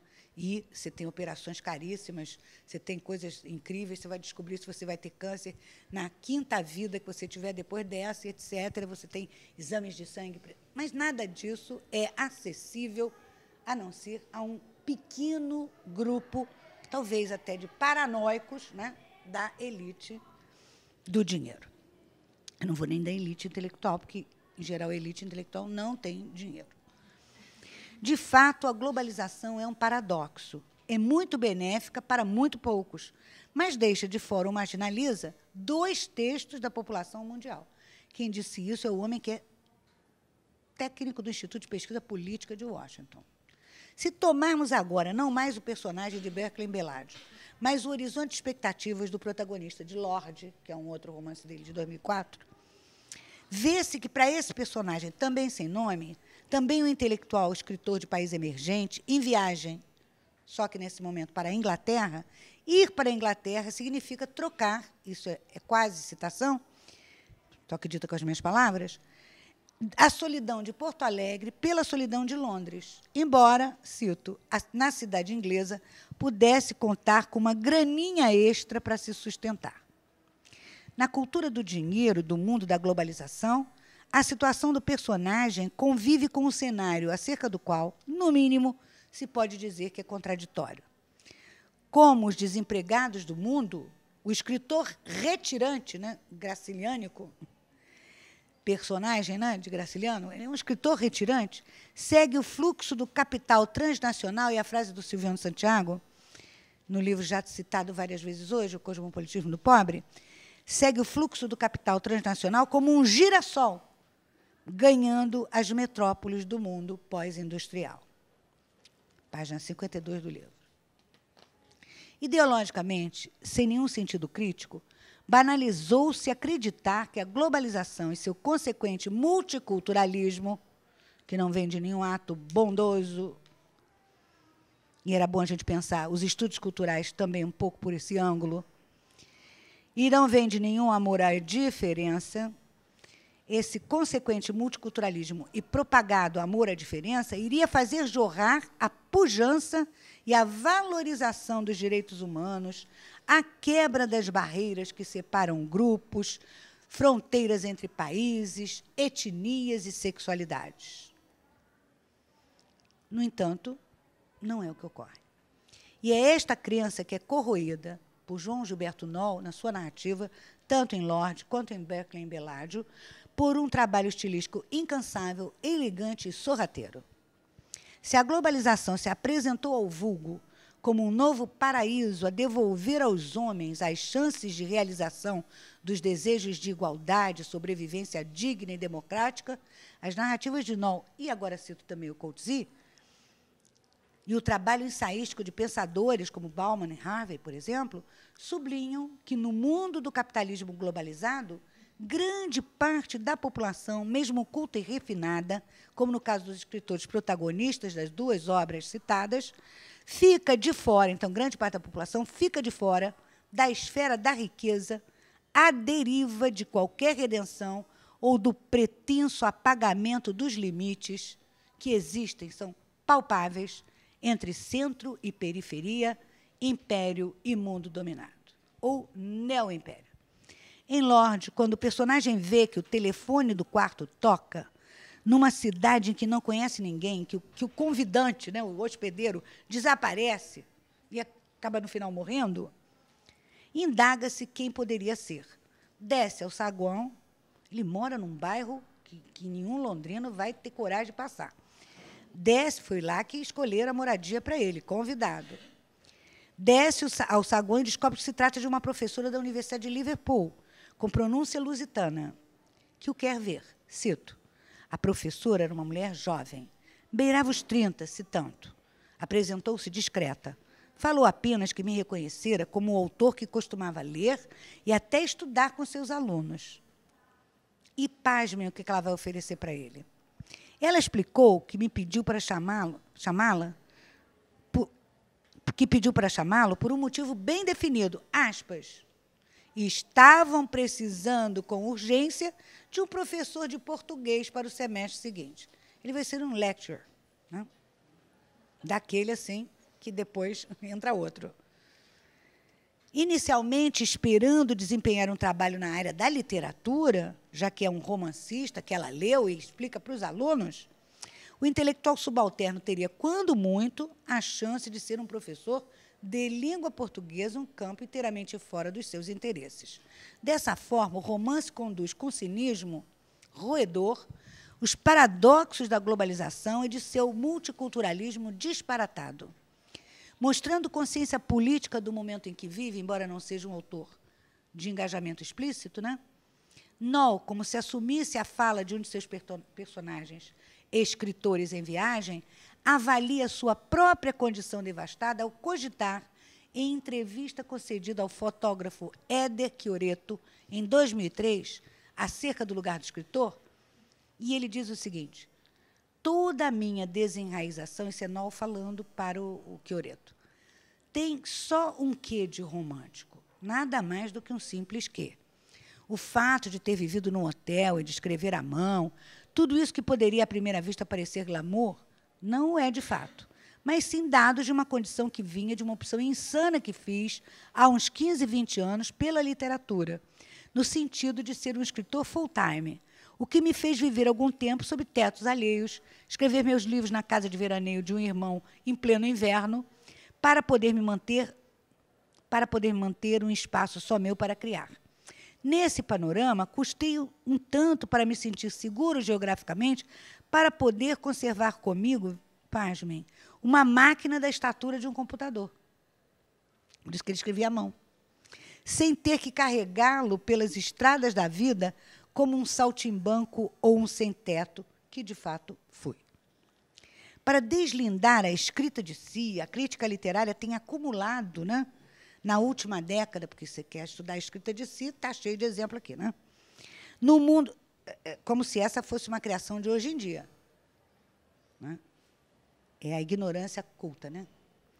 No mundo dos espelhos, do egotismo e do showroom, das individualidades em crise, entoa-se também ideologicamente a possibilidade de liberação do eu, como se escrevessem páginas de autoajuda teórica acerca da marca biográfica das identidades esteticamente construídas e renomeadas. Não se encontra, no entanto, na maioria desses trabalhos, abrindo-se pouquíssimas exceções, uma correlação pensante entre o horizonte da cultura do dinheiro da globalização e a crise avassaladora da subjetividade e da identidade de que tanto nos tem falado a literatura contemporânea. Né? Então, escrever um trabalho sobre a, a escrita de si é, é, é, outro politicamente correto que serve de engodo ideológico diante da massa de problematização que resta por fazer. São teses que não têm problematização nenhuma intelectual apenas rabiscam quesitos e recolhem dados, às vezes até ultrapassados. Enfim, quero ainda, nessa reflexão, sublinhar o papel, e eu estou terminando, do escritor intelectual em desacordo com o cotidiano de promessas de ascensão social e cultural quando é traduzido ou levado ao estrangeiro. Venha, querido, nós vamos traduzir, você vai virar um must da cultura mundial. Ainda mais naquela lista que entra tudo de tudo, né? Lembrando as palavras muito criticadas ao que parece, ao se pronunciar na feira de Frankfurt, as palavras do Luiz Rufato, né? Pelos próprios colegas de profissão, nacionalidade e participação, é, acerca de graves problemas nacionais, falando da qualidade, na qualidade de representante dos escritores ali presentes, que logo foram dizer que ele não representava nenhum deles ele faz uma pergunta que eu acho de altíssima valia. O que significa ser escritor num país da periferia do mundo, um lugar onde o termo capitalismo selvagem não é uma metáfora? Fala-se em globalização, mas as fronteiras caíram para as mercadorias, não para o trânsito das pessoas. Um, o Coetzee diz quase a mesma coisa, falando de um personagem que é branco, naquele Juventude, dizendo que ele só não ficou retido na aduana ali porque tinha os pretinhos vinham na frente dele. Então, ele passou despercebido. Tinha cara de branco, bom, é de origem holandesa. Apesar de não serem tão explícitos quanto o Rufato, Noll e Coetzee discutem, como se demonstrou, na construção interna da linguagem, na forma cético, irônica e corrosiva de que se utilizam o papel, eles discutem né, o papel e a circulação do intelectual oriundo de países emergentes e de tradição colonial, focalizando o juízo que fazem esses intelectuais de si mesmos e como são recebidos no ato de leitura pelo outro. Né? Porque todos eles leram os romances, os dois textos, as pessoas leram os romances. Um pede até que ele dê os romances né, aqui no Rio, para ele poder mostrar. Mas ele acha, o cara é um pão duro, porque quando o personagem chega lá, ele encontra os seus livros nas livrarias de Londres. O cara não quis comprar porque não quis, né? e que não tinha lido coisa nenhuma dele. Bom, em Bethlehem Belade, bom, eu estou cansada, já já estou pulando aqui, o meu olho não está firmando. Então, focalizando o juízo que fazem de si mesmos e como são recebidos no ato de leitura que metalinguisticamente trazem à tona num mundo globalizado e multicultural. Nesses romances, afirma-se, por meio do recorte irônico da forma e do conteúdo, o choque entre o intelectual escritor, o dinheiro e o status quase nenhum que obtém na troca da sua mercadoria cultural com os ditames para a organização do mundo expedidos pela grife da elite global, sempre interessada em bens mais usáveis e poupudos. Finalizando, ressalte-se um aspecto da internacionalização dos pobres na agenda globalizada enfatizado por Noll. O multiculturalismo, nessas duas obras que eu citei deles, dele, corresponde ao aperfeiçoamento das regras, o que faz com que as subjetividades sucumbam a lógica do jogo, na criação de personagens perdedores, mas lucidamente críticos dessa perda na ordem globalizada, pois lhes resta, no mundo desenvolvido, e eles ganham consciência disso, e o leitor ganha através da consciência do personagem, a mesma possibilidade de concluir, resta-lhes reproduzir papéis de subalternidade, o exemplo, né, o escritor convidado que ela usa para ensinar os alunos, que ele tinha sido convidado para ir para Londres, mas ela está em Liverpool. Então, lá o senhor só tem um lugar para a língua, porque quem sabe literatura sou eu, a menina de 30 anos, estrangeira, que não teve nem tempo de ler né, a formação intelectual que ela necessita para falar de uma cultura que ela conhece, da qual ela conhece pouco. É mesmo que você vai, sei lá, para a Birmânia, eu vou virar professora de birmanês, literatura birmanesa, sem não ter nem conhecimento para isso, com 30 anos de idade, tendo estudado sei lá o quê. Um major in something. Então, esses personagens perdedores lúcidos, né, que são capazes de perceber esses, essa reprodução dos papéis de sub, subalternidade, que me recordam o papel incômodo da personagem Pequena Flor, exibida pelo etnógrafo como um ser exótico, tropical, verdadeiro troféu. Mico-leão dourado que ele trouxe lá dos infinitos dos trópicos. Absurda redoma e etnocentrismo. Não basta Foucault dizer que o etnocentrismo é assim. Ele não acaba porque Foucault disse que ele existe. Né? Ele está internalizado, como está internalizada a imagem de um Deus poderoso que é de nos penalizar ou de, ou e de nos salvar. Absurda redoma e etnocentrismo registrado na escrita precursora de Clarice Lispector em, em A Menor Mulher do Mundo, um conto do Laços de Família de 1960. Nesses casos, o multiculturalismo que se vivencia, cito, não consiste no intercâmbio entre distintas culturas. Consiste, sim, na neutralização de seu potencial eventualmente transgressor em relação ao contexto mesmo que o incita, em suma, a sua mera instrumentação, ou aquele, aquela razão instrumental de que há muito tempo tem sido um primo bastardo, seus textos revelam que a garantia da dignidade do indivíduo e da coletividade esbarra no cruzamento violento da civilização com a barbárie em grau potencializado em nossos dias. A esse respeito, essas narrativas lançam um desafio a todos nós, leitores, escritores e críticos, também deslocados do nosso próprio eixo. É como se seus textos fizessem ecoar uma questão: com que linguagem narrar a reinvenção da liberdade, da responsabilidade, do respeito à individualidade e à coletividade, a fim de restaurarmos, cada um e todos nós, a dignidade e a ética que merecem e devem mediar o ato de estar no mundo. Obrigada.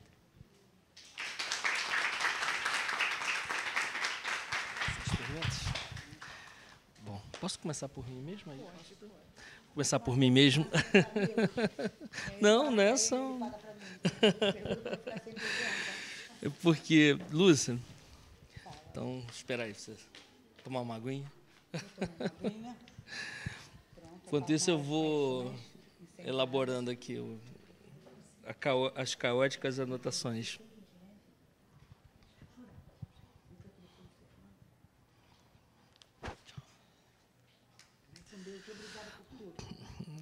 É, é, curioso no seu texto, não sei nem se você percebeu, é que eu estou aqui do lado, eu estou podendo também ver o texto. Né? Ah, você é, é, intitulou uh, a sua palestra Intelectual, Escritor no mercado multicultural. Né? E lá para o final do texto, lá no finzinho, você trocou. Né? Você falou do escritor intelectual e não do intelectual escritor. Eu não sei se foi intencional ou foi um, um foi um ato falho, foi. Mas, mas é porque a minha, a minha pesquisa, a minha pesquisa, a minha pergunta estava se encaminhando justamente para isso. Olha, eu, eu anotei aqui e logo no começo eu gostaria de te perguntar exatamente isso. Essa personagem Elizabeth Costello é, é, é uma personagem muito maltratada, né, pelo Coates coitada. Eu fico muito pena dela. ele se maltrata. É, ele é muito sadomasoquista, né? E o, o George ruim também, né? De si próprio. Já estava defunto, então. Mas nessa, pelo menos, ele inventou uma, uma mulher, né? Para maltratar, né? É, ela, ela tem uma nora chamada Norma, que é professora de filosofia. É, é exatamente minha pergunta. A Elizabeth é vegetariana. Então, a Norma não permite, ela não vê essa sogra nunca. Aí o filho, que é professor de, de física, física, casado com a filósofa Norma, normatizadora, ele vai buscar a mãe no aeroporto e ela vai ter a chance de jantar com os netinhos, acho que é a primeira vez em 50 anos. Mas a mãe proíbe, a norma proíbe, porque eles comem carne e vovó não come carne. Então, exatamente é por isso, é, essa personagem, é, que é, na verdade, uma escritora intelectual, né? não uma intelectual escritora, não sei. Para Sim. Ela é especialista no. Embora a Nora diga que aquela, aquele não é o terreno dela. Né? Ela tem um romance também, que é meio joiciano. Uhum. Então ela causou pompa e circunstância. Certo. Porque ela, ela é vista com uma certa condescendência pelo filho, obviamente, com uma certa crueldade pela Nora, não é? que diz que, é, é, que diz que a palestra dela a Nora diz que a palestra dela não foi boa, porque aquela não é, não é a área da reflexão não é a dela. É, ela é vista com desconfiança por algum do, daqueles pares, né? E o judeu que fica injuriado com ela porque ela fala do, foram como gado, como gado, né? E com desconsideração, né, por outros, né?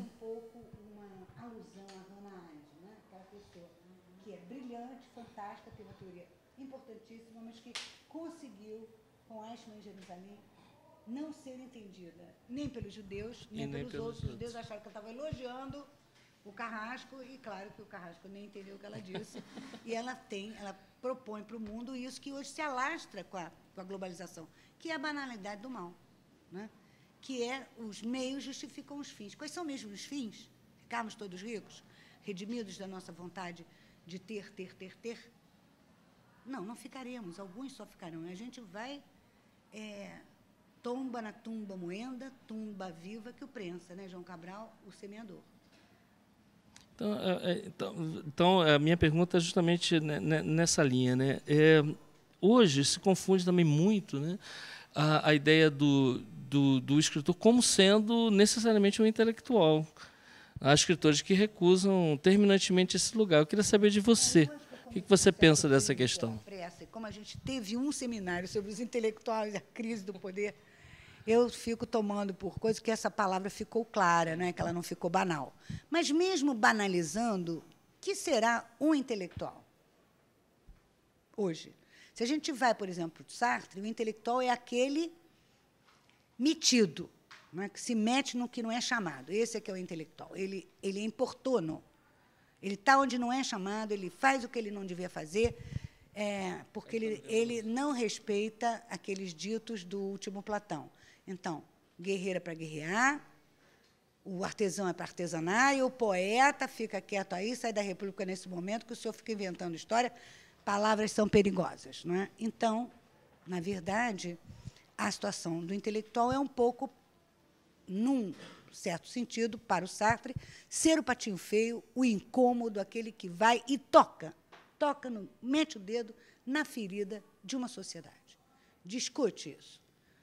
Nesse sentido, se o Zola não tivesse metido o dedo na ferida, não tinha se salvo o Dreyfus. Não é? Agora, no tempo do Zola, em que pese o naturalismo, Deus o tenha, é, o escritor tinha força pública, como diz a Beatriz Sarlo. Não é? Houve um tempo, e seria exatamente o século XIX, em que a literatura ela era a centralidade da vida cultural. Isso se perdeu, até pelo. A, a, a gente tem uma ilusão de que quanto mais pessoas a gente alfabetizar, mais democráticos estaremos sendo e mais cultura estaremos difundindo. Depende da qualidade da alfabetização. Você pode alfabetizar meio milhão de pessoas e serem todas analfabetas mentais, funcionais, é, sabe? Elas não conhecem. Então, intelectual para mim é alguém que usa a mente para importunar no sentido não aceitar o já pronto, não aceitar, não pode sair. Por quê, mamãe? Porque não pode. Não é? Esse que diz assim não é intelectual. O filho que pergunta por que não pode é, na minha rasteira definição nesse mundo de intelectual, uma pessoa que está pensando, eu preciso que a senhora me diga por quê. Quais são os critérios, qual é a razão, a vida é minha, não é? Eu sou um ser humano. Eu tenho direito, eu ando pelos meus. Por que eu não posso? Me dá uma razão sensata que eu até posso ficar. Para o nosso querido, não é que o Sartre não seja querido, mas eu não sou a pessoa que me formei, eu não sou uma sartriana, né, como meu ex-marido, por exemplo, é sartriano, sartriano de quatro costados, tem gente que viveu Sartre, eu, eu sou de uma geração muito posterior a isso. Então, na verdade, eu, eu, gosto muito daquele trabalho do Said, quando ele fala que o intelectual é um amador. Não só no sentido de aquele que ama as questões que ele discute e produz, mas também aquele que se comporta como uma pessoa que não sabe. Ele não sabe. Ele, ele não é um expert. Ele não tem uma tecnologia. Né? É alguma coisa que, que vai lá para trás, no tempo em que, em grego, tecné queria dizer arte. Né?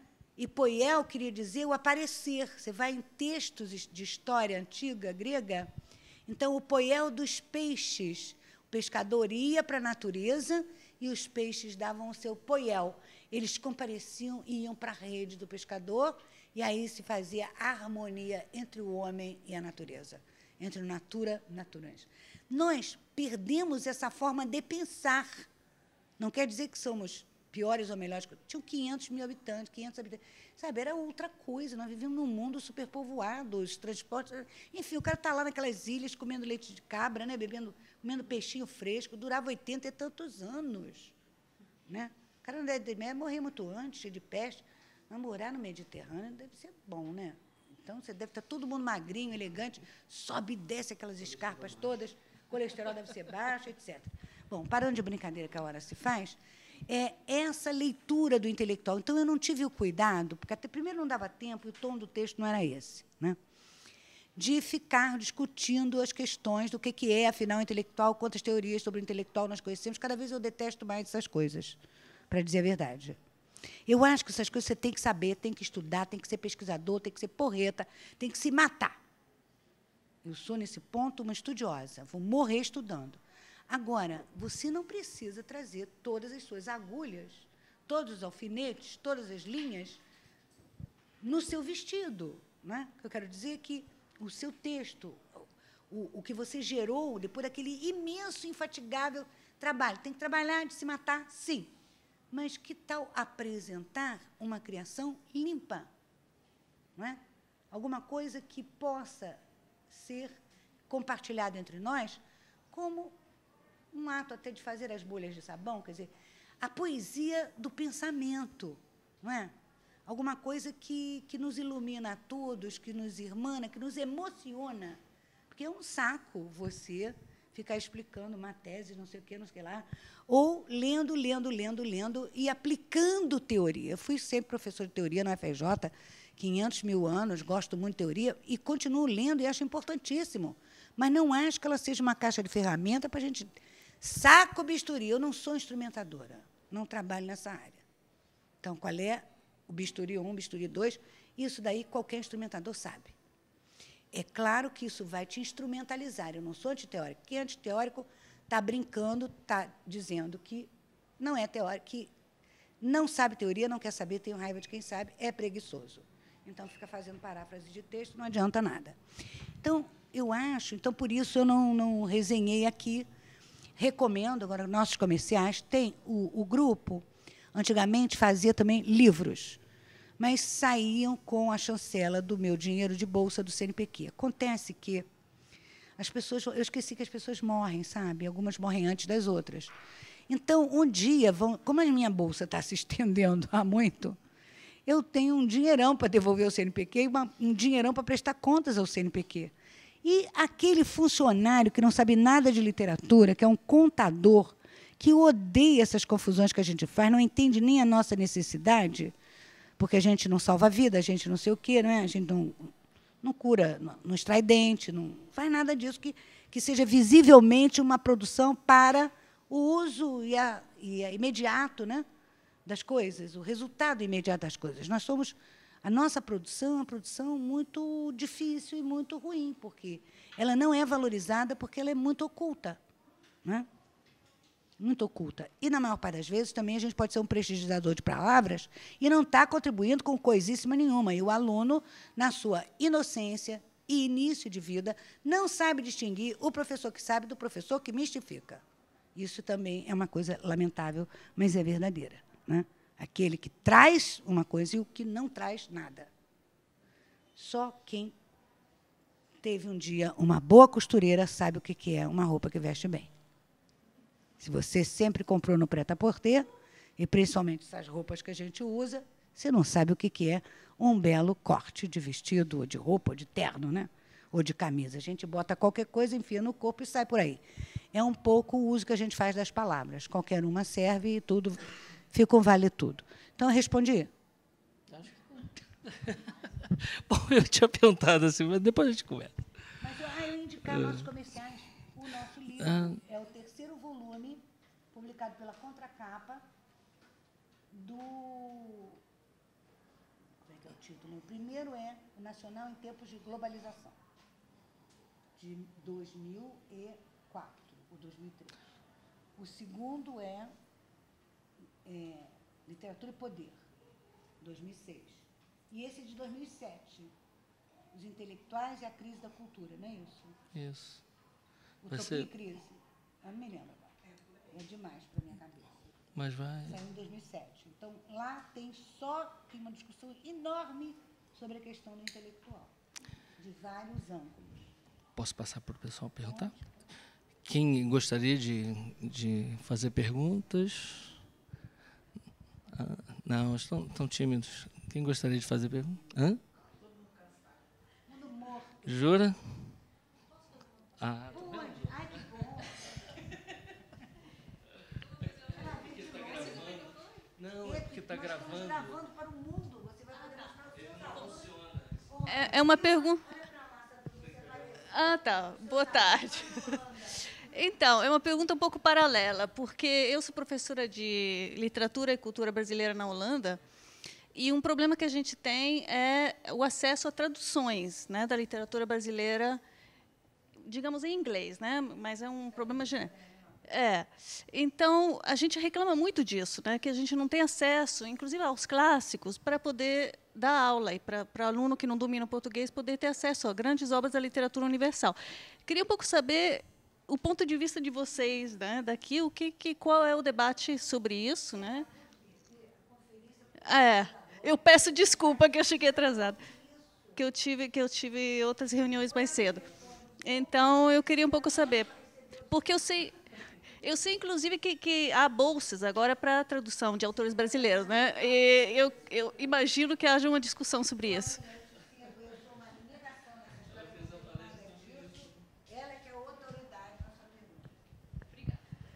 Bom, a Biblioteca Nacional tem um programa de bolsas para tradutores e também existe um outro programa sobre a publicação mesmo de textos no exterior, que é vinculada à Apex.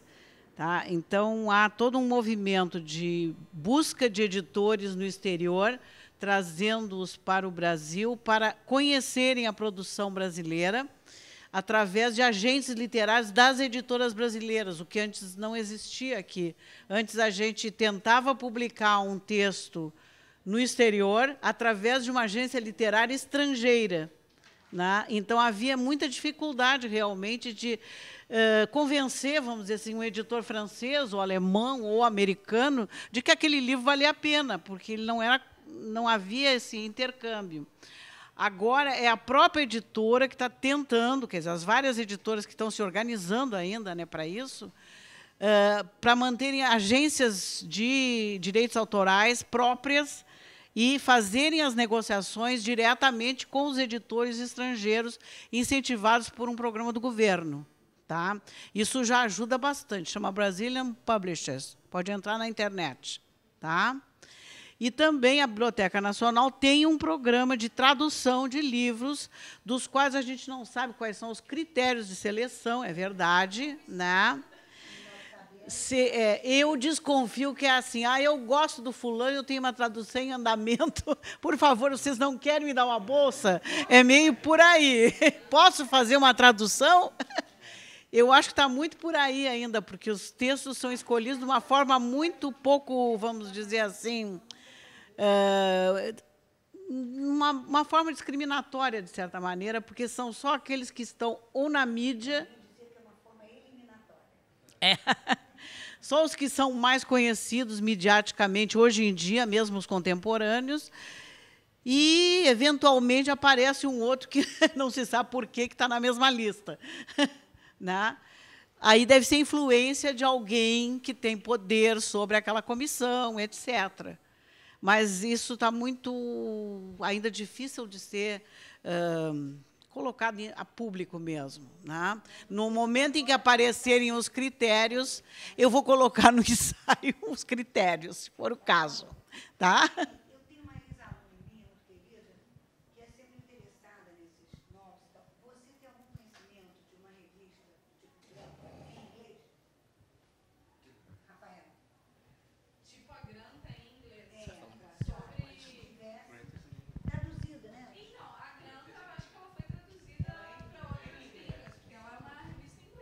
Você conhece a Granta? Tem autores brasileiros que você pode usar? Só, só, agora, né? É, as ferramentas são essas, são poucas,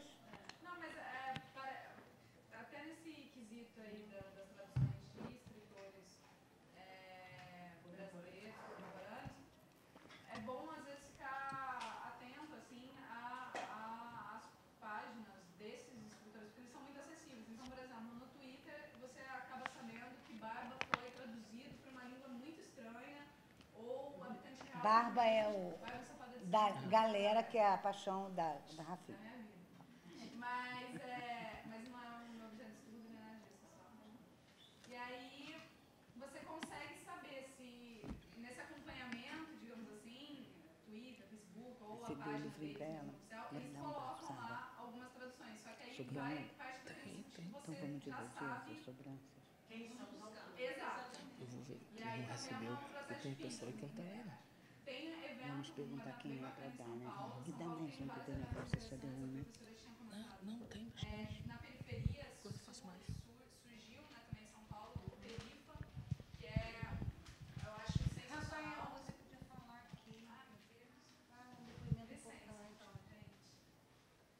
É que eu gosto muito assim de literatura, desculpa, de literatura contemporânea, então sempre que tem alguma coisa relacionada à literatura contemporânea, eu, participo.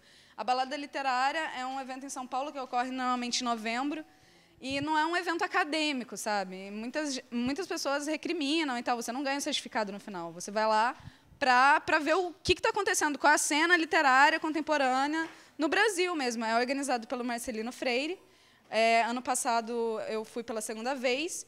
E lá você acaba conhecendo. Lá eu conheci a Coperifa. É, Lá eu conheci autores contemporâneos de que eu nunca tinha ouvido falar, entendeu? Então, assim, você tem esse acesso ao escritor, que é, é muito bacana, e não como um acadêmico. Eu nunca fui, mas quero muito ir. Já foi esse mês, é maio, não foi? É, eu sempre ouço falar, mas eu, eu nunca fui. Quero muito ir. Sim, eu sei, conheço. Eu tinha conversado com a professora que eu também gosto muito de escritores gaúchos que até mesmo estão na, na Granta, Chechenesky, Laub, tem também galera, óbvio. E o Laub a gente até estudou na aula da professora Lucelena. Então, assim, é, parte indo atrás, talvez, desses autores, é, mesmo que eles sejam mais conhecidos e tal, procurar esse acesso pessoalmente, não pessoalmente, mas virtualmente, porque eles são muito acessíveis, você pode conversar com eles e tal. O galera também traduz muito do inglês, então, não sei. É, e eu acho que Mão de Cavalo foi traduzido. Vários, vários escritores, assim, é, é só... O duro é que você tem que procurar, sabe? Não é algo tão visível, acho, assim. Mas ah, tem uma cena bem bacana aí da literatura contemporânea que eu acho que a professora, ah, as pessoas não leem, ou sei lá. Mas talvez. Ah, tá. É, eu acho que ah, o que eu sinto assim na academia e eu sentia na, na, minha na minha universidade de onde eu vim e tal é que as pessoas de letras mesmo não conhecem literatura contemporânea, entendeu? Então aí é uma, uma coisa, não tem esse interesse em ler literatura contemporânea. Às vezes não é nem literatura de modo geral, mas, ah, não, não leio coisa nova. Tem um certo preconceito, assim. Bom, quem é que não recebeu o CD, que é assim uma espécie de agradecimento pela paciência e lealdade, né, essa solidariedade, estamos juntos até agora. Gente, isso é, é uma prestação de contas né, do grupo de estudos, que é financiado pelo CNPq. Então, todo ano nós realizamos um seminário, graças a essa bolsa e, e outras pessoas também que têm lá suas bolsas, mas esse grupo está com essa bolsa minha, que é pesquisadora, Bolsa de Produtividade em Pesquisa, e ao final de cada pesquisa eu produzo um livro, porque é a única forma. Não adianta a gente falar em ética se a gente não tem ética, né? Eu pretendo ter, desculpem a, a vaidade dessa frase, mas eu acredito que eu te, sou uma pessoa ética.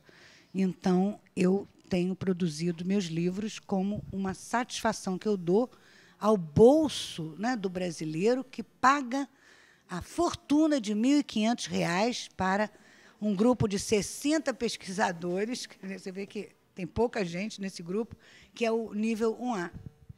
Escândalo. Nós queremos dar, queremos dar. Para você também, para. Olha, leva mais para vocês aí, mais um para cada um. Ah, e manda para a Regina também. Glorinha, leva um para a Regina. É, dá mais para a Glorinha também, para ela própria ter um acervo próprio. Quer mais um? Quer mais um? Alguém quer mais um? Quer? Vem pegar. Sara, você quer mais um para botar lá na biblioteca? Peraí, dá para Sara, peraí, pega aqui. Leninha, pega aqui. Pronto. Então, eu mais. Gente, acho que posso declarar terminado? Então, em nome de Deus.